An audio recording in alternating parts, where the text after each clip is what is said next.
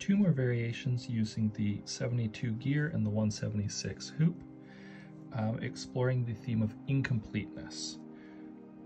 We're using penhole 1B for all of these. And this first theme of incompleteness is just going to be the idea that you don't have to take like the repetition of design to its obvious uh, conclusion. So we're doing.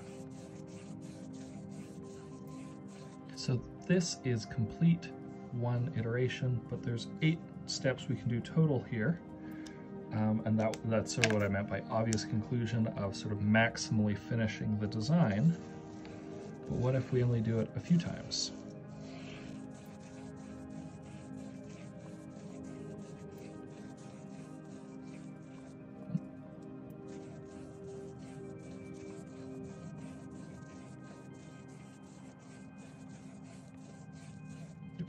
There we go. I think this looks really striking. You can see there's space for more design, but it's still got like symmetry, it's got rotation, it's got color. You can play with doing it all monochrome or just giving a little pop of color in one shift of it. I think that all looks really neat. This one, uh, I'm gonna do incomplete designs in different way. Let's do the first one fully and then I'll talk about it.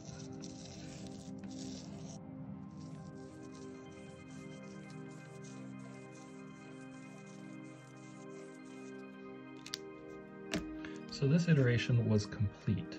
It's got 22 points. I'm going to do each next one having four fewer points than the previous one. And the way to make that look good is to take the pen hole back here where it's going to be densest, and we're just going to hide it in here.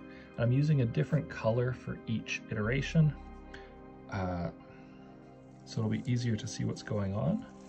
But uh, this, this might look more compelling with uh, just one color.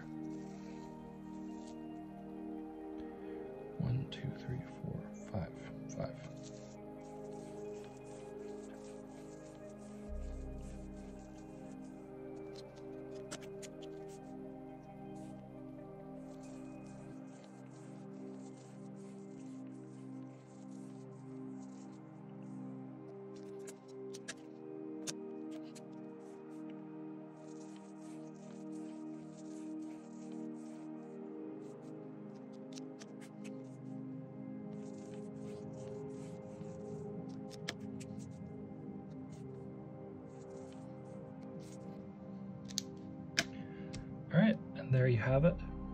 It's a different way of playing with incomplete designs. And you don't always have to start at the same spot. And as long as your design has a little bit of density in it somewhere, you can hide the start and end points in the middle and make these interesting shapes. Designs and compositions can be incomplete to great effect, add this sense of tension or sense of mystery. Anyway, play with it. There's a lot of variations. Have fun.